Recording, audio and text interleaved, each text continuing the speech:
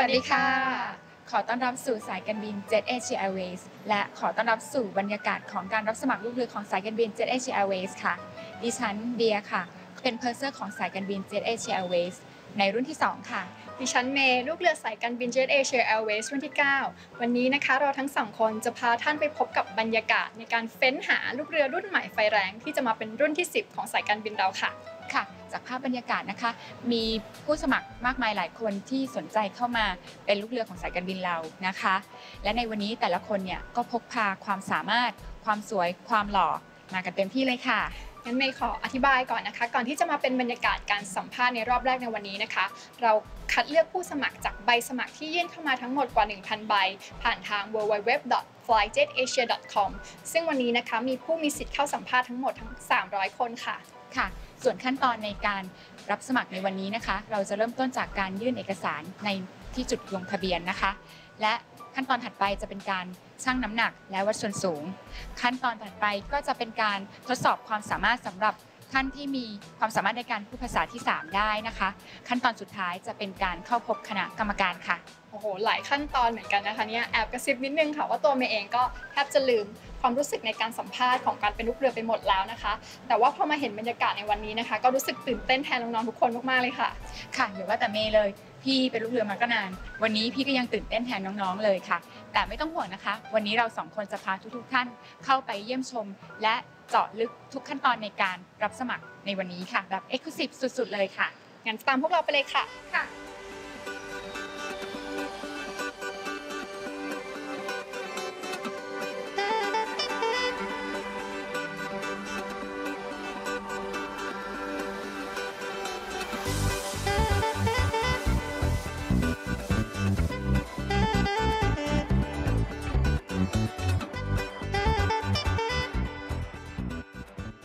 ค่ะเมย์คะตอนนี้นะคะเราจะมาสำรวจจุดแรกของเราเลยนะคะ ก็คือจุดลงทะเบียนและการยื่นเอกสารนะคะ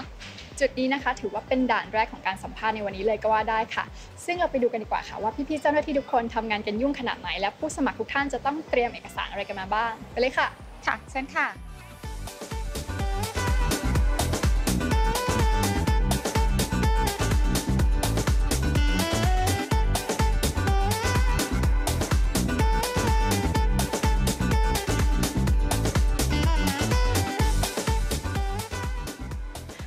นนี้นะคะเมย์พาทุกท่านมาอยู่ที่จุดที่ 2 ของการรับสมัครในวันนี้นะคะนั่นคือจุดชั่งน้ำหนักและก็วัดส่วนสูง ซึ่งนี่คือคุณเอื้องนะคะ ลูกเรือของสายการบินเจ็ตเอเชียเหมือนกัน คุณเอื้องมาทำหน้าที่เป็นเจ้าหน้าที่ชั่งน้ำหนักและวัดส่วนสูงในวันนี้ค่ะสวัสดีค่ะค่ะงั้นพี่ขออนุญาตถามเรื่องนิดนึงนะคะว่าเกณฑ์ในการเอ่อวัดส่วนสูงของบริษัทเราคือเท่าไหร่คะก็สำหรับผู้ชายนะคะก็170เซนติเมตรค่ะสำหรับผู้หญิง 162เซนติเมตรค่ะขอบคุณค่ะ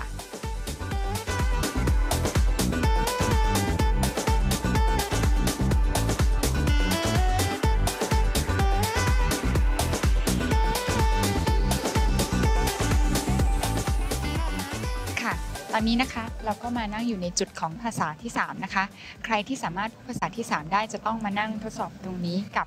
ผู้ที่นั่งข้างๆของเดียนะคะก็คือน้องเปานะคะซึ่งน้องเปาเนี่ยเป็นผู้เชี่ยวชาญทางด้านภาษาจีนค่ะนี่ฮาวนี่ฮาวนี่ฮาวนี่ฮาวค่ะเปาคะอะไรเป็นเกณฑ์หลักในการพิจารณาผู้ที่มีความสามารถพิเศษทางด้านภาษาในวันนี้คะเราจะดูทางด้านการฟังและการพูดเป็นหลัก เพราะว่าเราจะต้องให้น้องเนี่ยสามารถประกาศบนเครื่องบิน และสามารถสื่อสาร หรือว่าช่วยกันเอ่อแก้ปัญหา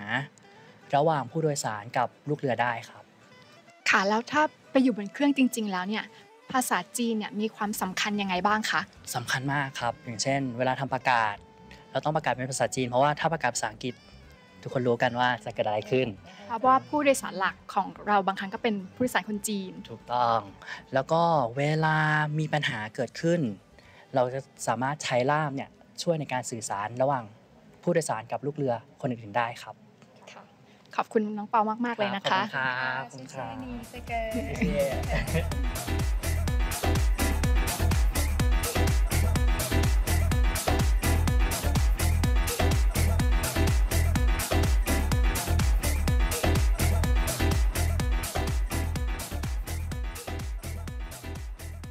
พี่เดียแล้วตอนนี้นะคะเรามาอยู่ที่ประการด่านสุดท้ายของการสมัครในวันนี้แล้วก็คือการสัมภาษณ์กับคณะกรรมการค่ะ ค่ะใช่ค่ะ และจุดนี้นะคะก็จะเป็นจุดที่ผู้สมัครนะคะ เข้ามาสัมภาษณ์กับคณะกรรมการทีละคนเลยค่ะคำถามเนี่ยก็จะเป็นคำถามทั่วทั่วไป หรือว่าจะเป็นคำถามเกี่ยวกับจิตวิทยาด้วยค่ะ ใช่แล้วค่ะ ซึ่งจริง ๆ แล้วนะคะ การเป็นลูกเรือนะคะ เราจะต้องเจอกับ ภาวะความกดดันหลายอย่าง เราต้องทำงานบนที่สูงทำงานด้านบริการแข่งกับเวลา และที่สำคัญที่สุดก็คือเรื่องความปลอดภัยของผู้โดยสารบนเครื่อง ดังนั้นนะคะคณะกรรมการก็จะคัดเลือกบุคคล ที่มีความเหมาะสมทั้งในด้านทัศนคติและคุณสมบัติที่จะมาเป็นลูกเรือของสายการบินแล้วค่ะ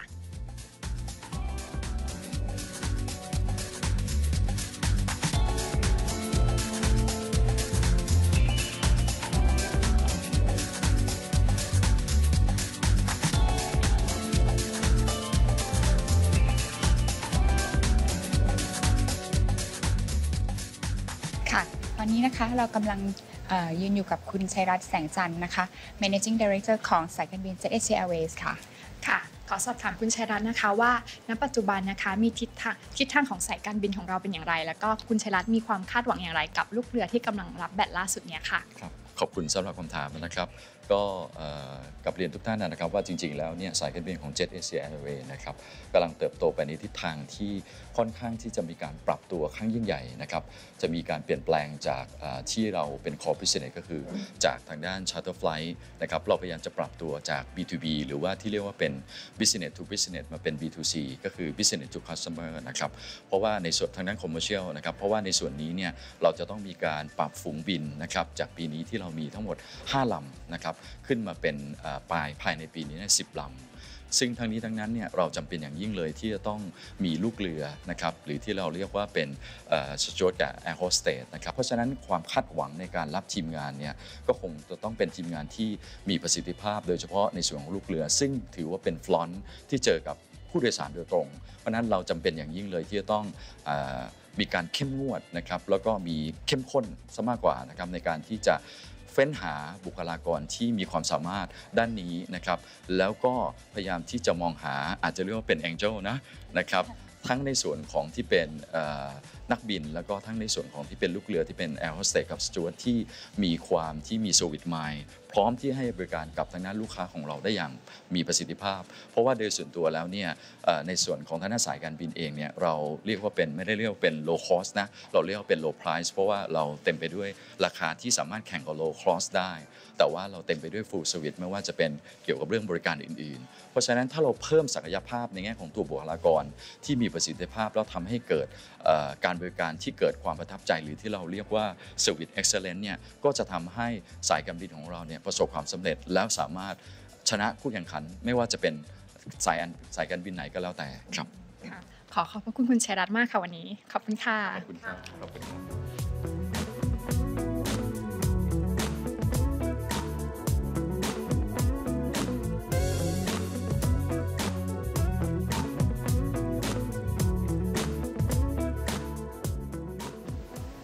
Well, Next, we're going to interview with Mr. John Chapman. He is the Chief Commercial Officer of Jet Airways. So, Mr. Chapman, I would like to ask you about the company direction and your expectation towards our next cabin cruise.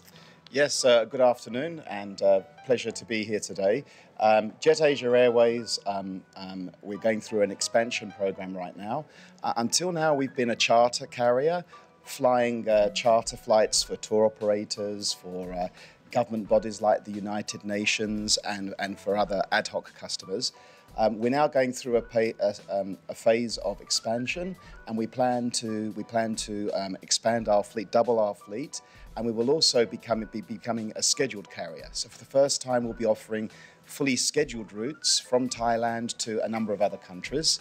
Um, you know, an airline is a customer service business, and uh, our cabin crew are one of our most important uh, teams within the company, as they are the, the, the, the front line that has the most time interacting with our customers. So it's really, really important for us to choose the very best top level possible um, candidates to, to join our crew so that we can offer the very best level of service possible and, and build a really strong position with, with our customers, whether they're Thais uh, in Thailand or, or uh, international people such as Japanese, Chinese, and, and many of the other routes that we'll be launching. can you say something to our candidates today? So thank you very much for your interest in joining um, in joining Jet Asia. Uh, wish you good luck for your interview today, and uh, we're really looking for the, the very best people with the best um, the best attitude, the best customer service skills, best interpersonal skills to join our team, and together we can all um, work very hard to make Jet Asia Airways Thailand's best airline. So uh, I hope good luck, and uh, we hope you can join us.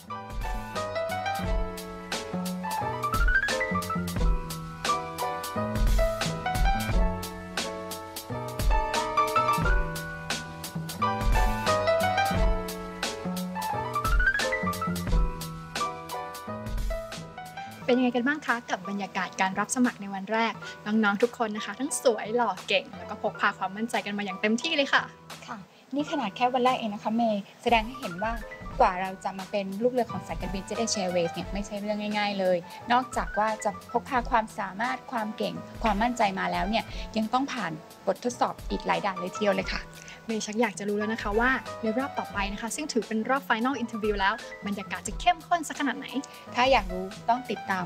รอบ Final Interview ในวันถัดไปนะคะ จากผู้สมัคร 300 คนในวันนี้ ใครบ้างที่จะผ่านเข้าสู่รอบ Final ค่ะ